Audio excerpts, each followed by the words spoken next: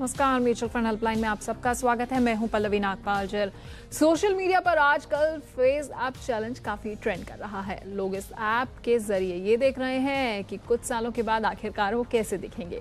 ये तो हुआ सोशल मीडिया का फेस ऐप चैलेंज लेकिन आज हम म्यूचुअल फंड में भी फेस ऐप चैलेंज ही लेकर आए हैं, जो आपके लिए फ़ायदेमंद साबित होगा। जी हाँ आज से 30 साल के बाद आखिरकार आप कैसे दिखेंगे, ये आपके नियंत्रण में कम ही है। लेकिन 30 साल के बाद एक चिंता मुक्त जीवन बिताने की तैयारी करना पूरी तरह से केवल आप ही के हाथ में है। तो म्यूचुअल फंड के फेस ऐप चैलेंज में आज हम इसी पर बात करने वाले हैं कि आखिरकार 30 साल के बाद निवेश करने के लिए आखिरकार आपकी स्ट्रैटेजी क्या होनी चाहिए और किस तरह के फंड से आपका बुढ़ापा सुरक्षित होगा? और 30 साल में कितनी बदलेगी आपकी पोर्टफोलियो की तस्वीर? ये बताने के लिए हमारे साथ एक खास मेहमान भी जुड़ गए हैं। हमारे साथ एटिका वेल्थ एडवाइजर्स के certified financial planner Nikhil Kothari जुड़े हैं। निखिल जी बहुत बहुत स्वागत है आपका। धन्यवाद। तो शो में हम इस दिलचस्प चर्चा की शुरुआत तो करेंगे, लेकिन उससे पहले अपने दर्शकों को बता देते हैं कि अगर आप भी अपने कुछ सवाल निखिल जी से पूछना चाहते हैं तो तरीका बेहद आसान है। इस वक्त हमारा ये शो हमारे ट्विटर पेज पर और फेसबुक पेज पर लाइव है। आपको हमारे पेजेस पर जाना है और कमेंट सेक्शन में जाकर अपने सवाल टाइप करने हैं। और हम कोशिश करेंगे कि अगले आधे घंटे में आपके ज़्यादा से ज़्यादा सवालों को शो में शामिल कर पाएँ।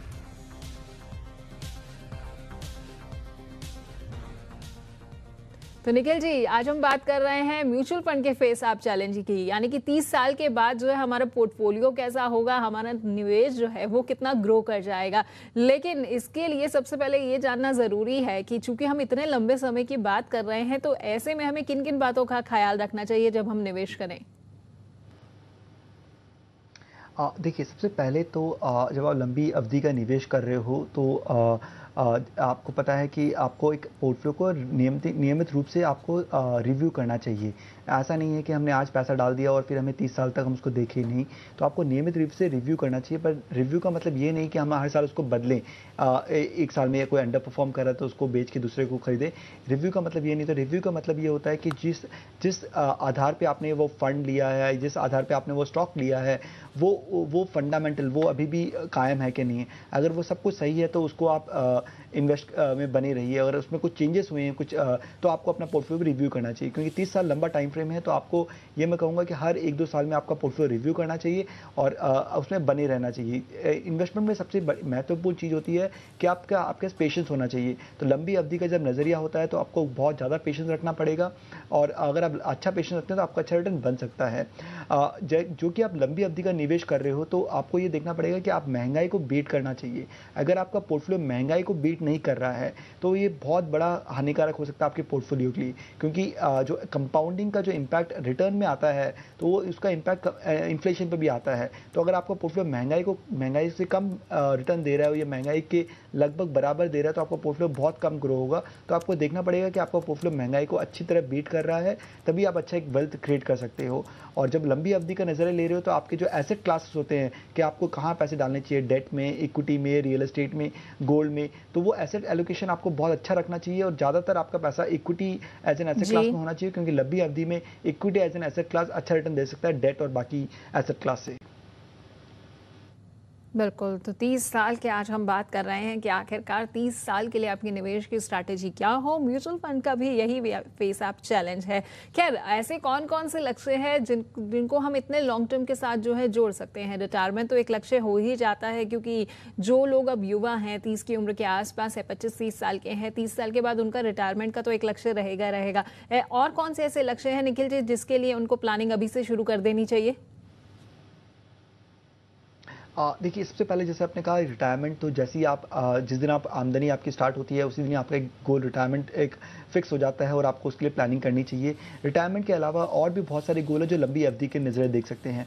जैसे अगर बच्चों की शादी एक आज के दिन पर बच्चों की शादी सत्ताईस अट्ठाईस उम्र की होती है तो जिस दिन आपके बच्चे की बॉन्ड हुई है उसी दिन आप उसके फ्यूचर एजुकेशन जैसे पोस्ट ग्रेजुएशन और इसकी मैरिज या ग्रेजुएशन के लिए लंबी अवधि के लिए नज़रिए से आप निवेश कर सकते हो। अगर मैं एग्ज़ाम्पल दूँ कि जिस दिन मेरी डॉटर का बॉर्न हुआ था, उसी दिन से मैंने उसकी फ्यूचर एजुकेशन के लिए इन्वेस्ट करना स्टार्ट कर दिया था। तो ये लंबी अवधि का आप एक वो गोल बना सकते हो।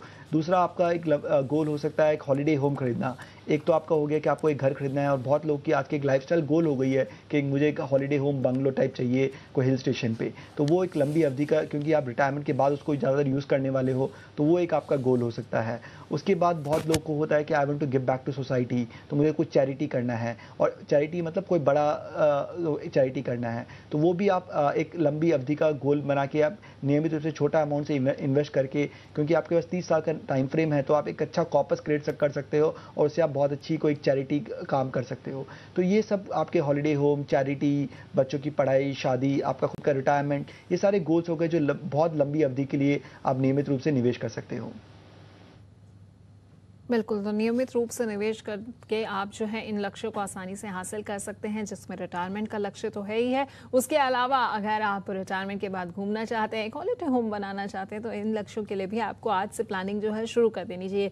लेकिन निखिल जी, तमाम प्लानिंग जो होती है वो गड़बड़ा जाती है, इसलिए क्योंकि बहुत से लोग जो है इसमें महँगाई दर को जो है शामिल नहीं करते हैं। और जब हम बात करते हैं तीस साल जैसे बड़े लक्ष्य की, यानी कि तीस साल के बाद जो हमें लक्ष्य हासिल करना है तो ऐसे में कितना ज़रूरी हो जाता है कि हम दर का ज़रूर ध्यान रखें और उसके अलावा कितनी ये दर होनी चाहिए अमूमन? देखिए, महँगाई, जैसे मैंने कहा कि महँगाई एक बहुत बड़ा चीज़ है जो आप इन्वेस्टमेंट प्लानिंग करते हो तो आपको महँगाई को ध्यान रखना चाहिए। तो एग्जांपल के तौर पे अगर मैं आपको देता हूँ कि अगर आज की कोई खर्चा अगर पचास हज़ार रुपये में होता है, और वही अगर आप तीस साल बाद करना चाहोगे तो वही अप्रॉक्सीमेटली उसकी, उस उस खर्च, उस चीज़ को पाने के लिए आपको तीन लाख रुपये खर्चे करने पड़ेंगे। तो आपका जो जो छः गुना आपका मोरलेस आपका जो मतलब टाइम्स हो जाएगा, आपका जो एक्सपेंसेस होगा। तो आप ऑन एन एवरेज पाँच से छः परसेंट इन्फ्लेशन एवरेज नंबर ले सकते हो। अगर आप महँगाई को कैलकुलेट कर रहे हो तो थम रूल जैसे मैंने कहा कि अगर आप पचास हज़ार रुपये आज कर रहे हो तो उस समय वो तीन लाख रुपये होगा। उसके हिसाब से आप अपने गोल्स के जो आपके आज के इन पे कॉस्ट है, उसी का आप फ्यूचर वैल्यू निकाल सकते हो, अगर आप तीस साल का आप नज़रिया लेके लेके चल रहे हो। बिल्कुल तो इस चीज़ का आपको ध्यान रखना चाहिए। महँगाई दर जो है, उसको ज़रूर शामिल करना चाहिए। अगर कोई भी लक्ष्य आप जो है तय कर रहे हैं, जैसा कि निखिल जी ने भी आपको बताया। बट हम चूँकि इतने लंबे समय की बात कर रहे हैं और ये कहा जाता है कि इक्विटी में अगर निवेश करें लॉन्ग टर्म के लिए तो वो बेहतर रहता भी है। लेकिन इक्विटी में जितना भी हम म्यूचुअल फंड्स में निवेश करते हैं, वो मार्केट से जुड़ा हुआ होता है। तो निखिल जी, अगर तीस साल के बाद की बात करें तो आपको क्या लगता है कि मार्केट का मिजाज क्या रहने वाला है? देखिए ऑब्वियसली जो जो रिटर्न्स आपको पिछले तीस साल में आए आप वो सेम रिटर्न एक्सपेक्ट नहीं कर सकते क्योंकि इकोनॉमी डेवलप होती है। तो इकोनॉमी जैसे डेवलप होती है, आपके रिटर्न एक्सपेक्टेशन धीरे धीरे कम हो जाते हैं क्योंकि आपकी महँगाई कम हो जाती है, आपके तो आपके अर्निंग्स थोड़े से कम हो जाते हैं और उसके हिसाब से आपके रिटर्न कम हो जाते हैं। बट अगर मैं तीस साल का फिर भी नज़र लेके चलूँ इंडियन मार्केट्स में तो हो सकता है कि अगले पाँच से दस साल में आप बारह से पंद्रह परसेंट पंद्रह परसेंट तक कमा सकते हो, उसके बाद आप दस से बारह परसेंट एवरेज कमा सकते हो। तो मैं कहूँगा आप ऑन एन एवरेज बारह परसेंट का अगर आप रिटर्न अनुमान लेते हैं तो वह काफ़ी रीजनेबल काफ़ी अच्छा रिटर्न एक्सपेक्टेशन रहेगा। लंबी अवधि का निवेश कर, वो मैं अगर बात करूँ डाइवर्सिफाइड इक्विटी फंड में, क्योंकि इंडिया एज अ मार्केट अभी भी क्योंकि इंडिया में दो तीन बेनिफिट है। एक तो अभी हम डेवलपिंग नेशन है तो हमें डेवलप होने में थोड़ा टाइम लगेगा। और इंडिया में काफ़ी सारी चीज़ का अभी आज शॉर्टफॉल है। इंफ्रास्ट्रक्चर भी ले तो वहाँ पर भी शॉर्टफॉल है। ग्रोथ अपॉर्चुनिटी इंडिया काफ़ी अच्छी परसेंट से ग्रो हो रही है, और वहाँ पे ये ग्रोथ विजिबिलिटी है next ten fifteen twenty years के लिए। और यंग पॉपुलेशन है तो इंडिया एज ए इकोनॉमी सबसे अट्रैक्टिव इकोनॉमी रहेगी नेक्स्ट दस, पंद्रह साल के लिए। तो ये सब फैक्टर्स लेके इंडिया इंडियन स्टॉक मार्केट आपको एक हैंडसम रिटर्न दे सकता है अगले पंद्रह बीस साल का नज़रिया लेके चले तो। जैसे मैंने कहा कि पंद्रह बीस साल बाद आपका जो रिटर्न एक्सपेक्टेशन होगा वो भी धीरे धीरे कम हो जाएगा, क्योंकि आपकी महँगाई कम हो जाएगी। तो जो आज हम महँगाई पाँच से छः परसेंट की बात कर रहे हैं, हो सकता है कि वो आज से दस साल, पंद्रह पंद्रह साल बाद वो महँगाई चार से पाँच परसेंट हो जाए। तो आपको उस टाइम अगर दस परसेंट भी रिटर्न मिले तो काफ़ी अच्छा रहेगा। तो आप ऑन एन एवरेज दस से बारह परसेंट का रिटर्न एक्सपेक्टेशन कर सकते हैं। आप तीस साल का आप नज़रिया लेके चलते हैं तो। बिल्कुल तो अगले तीस साल का अगर आप नज़रिया लेकर चलते हैं तो 10 से 12 परसेंट का रिटर्न जो है वो एक, एक रिटर्न एक्सपेक्ट किया जा सकता है। खैर अपनी चर्चा को आगे बढ़ाएँगे लेकिन इस बीच में हमारे साथ एक कॉलर जुड़ गए हैं। उनके पास पहले चलते हैं। प्रशांत चतुर्वेदी हमारे साथ जुड़े हैं। प्रशांत चतुर्वेदी जी बहुत बहुत स्वागत है आपका जी बिज़नेस पर। कहाँ से बोल रहे हैं आप?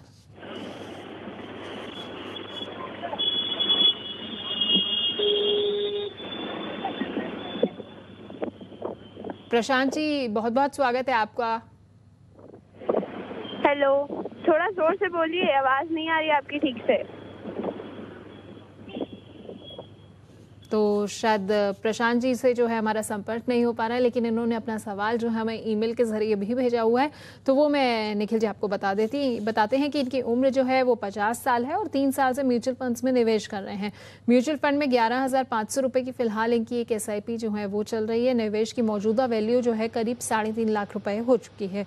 ऐसे में ये जानना चाहते हैं कि इनके पोर्टफोलियो में कुछ बदलाव की ज़रूरत है या नहीं है। इनके पोर्टफोलियो में शामिल फंड्स मैं आपको बता देती हूँ, जिसमें Franklin India blue chip fund है, साथ में ABSL equity advantage, Reliance small cap SBI Magnum global और सुंदरम मिड कैप फंड, साथ ही एक्सेस ब्लू चिप है और यूटीआई इक्विटी फंड भी है। तो आप क्या सलाह देना चाहेंगे प्रशांत जी को? देखिए आपके पोर्टफोलियो में सात से आठ फंड है तो मैं कहूँगा कि आपकी जो जो फंड की नंबर ऑफ़ फंड्स है वो तीन से चा, चार फंड में आप निवेश कर सकते हो। वो एक अच्छा पोर्टफोलियो रहेगा डाइवर्सिफिकेशन के हिसाब से। जैसे आपके कुछ फंड है जैसे एक्सेस ब्लू चिप फंड है वो लार्ज कैप फंड है उसको आप बने रहिए। यूटीआई इक्विटी फंड है वो एक मल्टी कैप फंड है तो उसमें आप बने रह सकते हैं। फिर आपका जो मिड एंड स्मॉल कैप है उसको आप कंसिडर करके एक फंड में निवेश कर सकते हैं तो आप रिलायंस स्मॉल कैप फंड में कंटिन्यू कर सकते हैं। Franklin India blue chip fund एक और लार्ज कैप फंड है तो उसको आप एक्सेस के साथ ही मर्ज कर दीजिए। तो आ, मैं और ग्लोबल फंड एक कमोडिटी टाइप सेक्टर फंड है तो उसको मैं कहूँगा उसको अवॉइड कीजिए और balance advantage fund equity debt में अपना आ, आ, जो एसेट एलोकेशन है बढ़ाते कराते रहते हैं तो उस फंड में आप बने रह सकते हैं। तो मैं कहूँगा कि एक बैलेंस एडवांटेज फंड जो इक्विटी डेट में एलोकेशन करता है एक लार्ज कैप फंड एक आपका मल्टी कैप फंड और एक mid and small cap fund काफ़ी रहेगा आपके पोर्टफोलियो के डाइवर्सिफिकेशन के हिसाब से। तो आप इन्हीं फंड में बने रहिए और बाकी फंड को आप मर्ज करके एग्जिस्टिंग फंड में ही आप निवेश कीजिए। क्योंकि आप बहुत ज़्यादा फंड अपने पोर्टफोलियो में लेते हैं तो ओवर डाइवर्सिफिकेशन हो जाता है और आपके लिए मैनेज करना काफ़ी डिफ़िकल्ट हो जाता है और आप उसको ट्रैक नहीं कर पाते हो। तो मैं कहूँगा इसको कंसिडर करके तीन चार फंड में निवेश कीजिए और उसमें आप बने रहिए। तो प्रशांत जी जैसा कि अभी कहा निखिल जी ने कि आपके ओवर डाइवर्सिफिकेशन जो है पोर्टफोलियो में इस वक्त हो रही है इसलिए बेहतर ये रहेगा कि तीन से चार फंड जो हैं केवल अपने पोर्टफोलियो में रखें तो ये आपके लिए बेहतर रहेगा क्योंकि इससे रिव्यू करना जो है आपके लिए काफ़ी आसान हो जाएगा। खैर एक कॉलर और भी हमारे साथ जुड़ गए हैं। सुनील तिवारी हमारे साथ जुड़े हैं मुंबई से। सुनील जी बहुत बहुत स्वागत है आपका जी बिज़नेस पर। अपना सवाल पूछिए। Thank you so much, ma'am. Uh, I'm Sunil Tiwari calling from Mumbai, and uh, which I've already shared the, my portfolio. Uh, so I have, I'm 28 years old. I'm investing 11,000 rupees every month through direct SIP mutual fund. And uh, the my uh, the mutual fund Gee. are Mirai Asset India Equity Fund direct 2.5, which is uh, 2,000 rupees. Mid cap, which is Aditya Birla Sunlight Pure Value Fund, 2,000 rupees. Axis Blue Chief Fund, which is 2,500 rupees. Small cap L&T Emerging Business Fund, 2,000 rupees and last but not the least, which is a Reliance Equity Hybrid Fund for 2,000. So my request uh, is just I have a query that I want to create a corpus of one year for my daughter education, one year for her, her marriage, and G. one year for retirement, which is for 3 CR. I'm a big fan of uh, G Business. Uh, uh always been very supportive. I learn a lot from G Business mutual fund shows always I see the mutual fund show through uh, YouTube. So thank you for all support and help. Thank you very much तो क्या सलाह देंगे आप निखिल जी सुनील जी को फ़िलहाल जो ये अपने पोर्टफोलियो पर एक आपकी राय चाहते हैं और जिस तरह से इन्होंने बताया कि अभी ग्यारह हज़ार रुपये का निवेश कर रहे हैं सुनील जी को मैं वापस वही कहूँगा कि पोर्टफोलियो वैसे उनका पाँच फंड है बट मल्टी दो तीन फंड जो है वो एक ही कैटेगरी के फंड है जैसे आ, मेरे ऐसे इंडिया इक्विटी फंड और एक एक्सेस ब्लू चिप फंड दोनों लार्ज कैप कैटेगरी में है तो वो एक ही फंड में निवेश कीजिए इंस्टेड ऑफ़ दो फंड तो वो मेरे ऐसे इंडिया लार्ज कैप फंड में बने रहिए और एक्सेस ब्लू चिप फंड को आप डिसकंटिन्यू कर सकते हैं। आ, आपका मेरे ऐसे प्योर वैल्यू फंड है वो वो एक मिड कैप कैटेगरी वो एक वैल्यू कैटेगरी में आता है पर more bias towards mid cap है तो इसमें वॉलिटिटी ज़्यादा होगी पर उसमें आप बने रह सकते हैं। L N T emerging business fund एक आपका स्मॉल कैप फंड है। तो आ, वो आपका अगेन जैसे मैंने कहा एक लंबी होराइजन लेके आप उसमें निवेश कीजिए और उसमें आप बने रह सकते हैं। और और रिलायंस इक्विटी हाइब्रिड फंड एक बैलेंस फंड है। तो आ, वो भी आपके लिए वैसे कंपेरेटिवली एक बैलेंस फंड आप पोर्टफोलियो में रख सकते हैं। तो मैं कहूँगा एक्सेस ब्लू चिप फंड को या अगर आपको चार फंड रखने हैं तो आप मेरे में मर्ज कर दीजिए। अगर आपको और फ्यूचर में एसआईपी बढ़ानी है तो large and mid cap fund अपने पोर्टफोलियो में दे सकते हैं। उसमें आप इन्वेस्ट को ग्रोथ अपॉर्चुनिटीज़ फंड में निवेश कर सकते हैं। बट पाँच फंड आपके पोर्टफोलियो के लिए काफ़ी रहेगा। और फंड ऐड मत कीजिए। अपनी जो एसआईपी बढ़ाते रहिए क्योंकि आप यंग हो, अभी आप एस बढ़ा सकते हो तो आप एस बढ़ाते रहिए और इन्हीं फंड में एग्जिस्टिंग फंड में ऐड करते रहिए। निखिल जी, आखिरकार 30 साल के लिए अगर हम जब निवेश करना चाह रहे हैं, चूँकि बहुत लंबा समय हो जाता है तो ऐसे में हमारे निवेश की स्ट्रैटेजी क्या होनी चाहिए? असेट एलोकेशन करते हुए किन किन बातों का ख्याल रखना चाहिए? देखिए जैसे हम अपनी बॉडी की बात करें अगर आप रेगुलर एक्सरसाइज करते हो और अपने पोर्टफ्लो को ध्यान अपने बॉडी का ध्यान रखते हो तो 30 साल बाद भी आपकी बॉडी काफ़ी अच्छी रहेगी और आप आ, आपकी लाइफ काफ़ी अच्छी रह सकती है। अगर वही आप अगर आप एक, एक ध्यान नहीं रखते हो और एक्सरसाइज एक्सरसाइज नहीं करते हो तो आपका ऑब्वियसली बॉडी में कुछ कुछ प्रॉब्लम आ सकती है। तो वैसे ही मैं कहूँगा कि जब एक्सरसाइज करना थोड़ा सा डिफ़िकल्ट होता है इनिशियल पीरियड के लिए बट लंबी अवधि में देखें तो वो काफ़ी फ़ायदेमंद होता है। उसी उसी एनालॉजी को आप अपने पोर्टफ्लो में ला सकते हो। तो जैसे अगर मैंने कहा कि ब्रॉड अगर दो एसेट क्लास देखें इक्विटी और डेट ये दो एसेट क्लास है जहाँ पे आप निवेश कर सकते हो। तो अगर मैं इन्वेस्टमेंट के हिसाब से बात करूँ तो अगर आप आज सौ रुपये डेट में डालते हो और सौ रुपये इक्विटी में डालते हो, अगर आपको अगर इक्विटी में बारह परसेंट रिटर्न का रिटर्न एक्सपेक्टेशन होता है तो तीस साल में आपका पैसा तीस गुना हो जाता है। तो सौ का सौ आपका तीन हज़ार बन जाता है। तो अगर मैं वही एक करोड़ की बात एक करोड़ की बात करूँ तो वो तीस करोड़ बन जाता है। और वही अगर मैं डेट में निवेश करूँ अगर सेम अवधि अवधि का नज़रिया लूँ तो आपका पैसा सात गुना होता है। तो अगर आपका एक करोड़ का सात करोड़ होगा तो मैंने कहा डिफरेंस देखिए, बहुत बड़ा डिफरेंस होता है अगर लंबी अवधि की बात करें। पर इक्विटी मार्केट जैसे मैंने कहा कि शॉर्ट टर्म में वर्टाइल होता है, जैसे एक्सरसाइज करना इनिशियल पीरियड में काफ़ी डिफ़िकल्ट होता है, वैसे इक्विटी मार्केट में इनिशियल पीरियड में वॉलिटी होगी मार्केट ऊपर जाएँगे, नीचे जाएँगे। बट क्योंकि आपका नज़रिया तीस साल का है और आपको तीस साल के हिसाब से आपको निवेश करना है तो आप शॉर्ट टर्म वॉलिडिटी से डरिए मत और आप नियमित रूप से निवेश करते रहिए। क्योंकि आप तीस साल का अगर आप निवेश करते हो और आप पेशेंस रखते हो तो आपका पोर्टफोलियो बहुत बड़ा पोर्टफोलियो बन सकता है और आपका रिटर्न डिफरेंशियल जो होगा, एक एक तरफ़ आपका पोर्टफोलियो तीस गुना है और एक तरफ़ आपका पोर्टफोलियो आठ गुना है। तो बहुत बड़ा डिफरेंस होता है। तो मैं कहूँगा कि आपका मेजर पोर्टफोलियो जो आपका होना चाहिए, वो equity as an asset class में होना चाहिए और कुछ पैसा आपका डेट में होना चाहिए जो आपको पोर्टफोलियो को स्टेबिलिटी दे। और जैसे जैसे आप अपने गोल के करीब आते हो, जब आप 25 साल 25 साल आपके इन्वेस्टमेंट का हो जाता है, तब आप अपना एसेट एलोकेशन डेट और इक्विटी में अकॉर्डिंगली चेंज कर सकते हो कि आपका पैसा थोड़ा थोड़ा डेट में जा सकता है एज इक्विटी से डेट में जा सकता है, क्योंकि अब आप अपने गोल के करीब हो। पर मैं कहूँगा, नियमित आप स्टार्टिंग में आपका portfolio more bias towards equity होना चाहिए, क्योंकि इक्विटी आपको लंबी अवधि में काफ़ी अच्छा पोर्टफोलियो रिटर्न दे सकता है। तो और कुछ पैसा स्टार्टिंग में डेट में होना चाहिए। और फिर आप ओवर पीरियड ऑफ़ टाइम अपना डेट और इक्विटी का एलोकेशन आप डेट में बढ़ाते रहिए, इक्विटी में कम करते रहिएगा। तो ये आपको नज़र रखना चाहिए। शॉर्ट टर्म वॉलिटिटी से आपको घबराना नहीं चाहिए और नियमित रूप से निवेश करते रहना चाहिए। बिल्कुल तो नियमित तौर से जो है आप निवेश करते रहिए, तभी जो है आप म्यूचुअल फंड का फेस, आप चैलेंज पूरी तरह से कर पाएँगे। क्योंकि 30 साल के लिए अगर आप निवेश करना चाह रहे हैं तो इक्विटी से बेहतर जो है आपको रिटर्न कोई नहीं दे सकता है, क्योंकि मार्केट का जोखिम उठाने की क्षमता जो है इतने लंबे समय में काफ़ी ज़्यादा हो जाती है। इसलिए हम निवेशकों को बार बार कहते हैं कि लॉन्ग टर्म में इक्विटी जो है आपके लिए सबसे सही सौदा साबित भी होता है। खैर, एक सवाल और शामिल कर लेते हैं, जो हमारे ये तीस साल वाले चैलेंज से ही जुड़ा हुआ है, राहुल शर्मा का।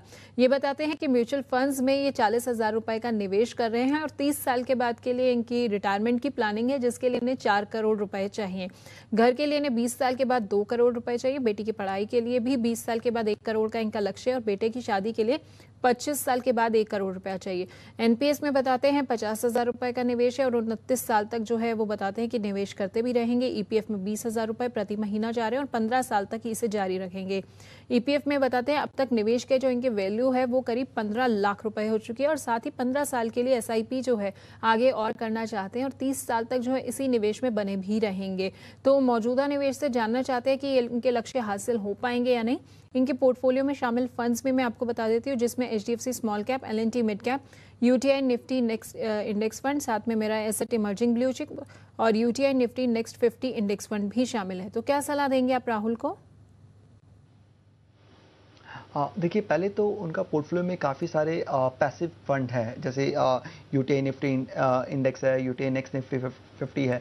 आ, ये सही है कि 30 साल में आपका पैसिव फंड काफ़ी बड़ा एलोकेशन हो जाएगा आपका ओवरऑल पोर्टफोलियो का। बट इनिशियली मैं भी कहूँगा कि अभी आप अपना पोर्टफोलियो इतना टिल्टेड पैसिव फंड में मत कीजिए क्योंकि अभी इंडियन मार्केट्स में एक्टिव फंड अच्छे आउट परफॉर्म कर सकते हैं पैसिव मैनेज फंड को। अगर मैं तीन से पाँच साल का नज़रिया लेके चलूँ तो, तो अपना पोर्टफोलियो को आपको एलोकेशन थोड़ा चेंज करना पड़ेगा। आपका portfolio toward more bias toward अभी एक्टिव मैनेज फंड होना चाहिए एज कंपेयर टू पैसिव और धीरे धीरे आप जैसे जैसे मार्केट डेवलप होते रहता है आप पैसिव फंड में अपना निवेश बढ़ा सकते हो। जो आपने गोल्स के कहा तो आपके काफ़ी गोल्स है। जैसे मैंने कहा कि अगर आपको रिटायरमेंट के लिए चार करोड़ रुपए चाहिए आज से तीस साल बाद तो आपको नियमित रूप से बारह हज़ार रुपये हर महीने निवेश करना पड़ेगा। अगर मैं बारह परसेंट का रिटर्न एक्सपेक्टेशन करता हूँ तो आप बारह हज़ार रुपये से हर महीने आप निवेश करते हो तो आपका जो लक्ष्य है वो चार करोड़ का अचीव हो सकता है। जो दूसरा जो आपने गोल बोला कि आपकी घर खरीदना है आपको दो करोड़ का तो उसके लिए भी आपको, क्योंकि आपको टाइम फ्रेम आपका कम है, वो आपको बीस साल में करना है तो आपको बीस हज़ार रुपये नियमित रूप से हर महीने निवेश करना पड़ेगा। फिर आपने जो बच्चों की पढ़ाई के लिए कहा कि आपको एक करोड़ एक करोड़ रुपए चाहिए आज से बीस साल बाद पच्चीस साल बाद तो उसके लिए आपको पंद्रह हज़ार रुपये हर महीने निवेश करना पड़ेगा। तो ओवरऑल आपको जो निवेश की राशि होगी वो आज के दिन पे लगभग आपको थर्टी सेवन थाउज़ेंड रुपीज़ आपको निवे, निवेश करना पड़ेगा। पर मैं कहूँगा कि आप सारे गोल्स को एक साथ में मत देखिए आप आप, आप, आप रिटायरमेंट का गोल के हिसाब से कीजिए फिर धीरे धीरे जैसे आपकी आय बढ़ती है वैसे आप दूसरे गोल्स में निवेश कर सकते हैं।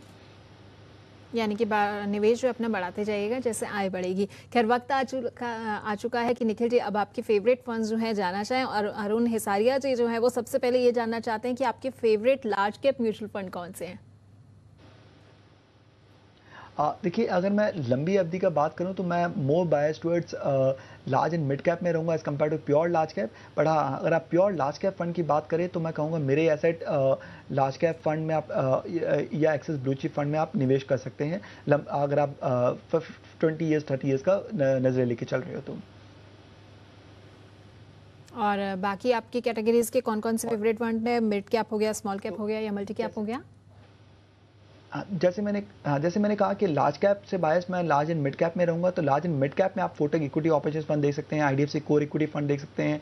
आप मल्टी कैप फंड में Parag equity long term equity fund है, या यूटीआई इक्विटी फंड है, उस पर आप निवेश कर सकते हैं। पराग लॉन्ग टर्म इक्विटी में ये फ़ायदा है कि कुछ एक्सपोजर आपका ओवरसीज मार्केट में भी रहेगा।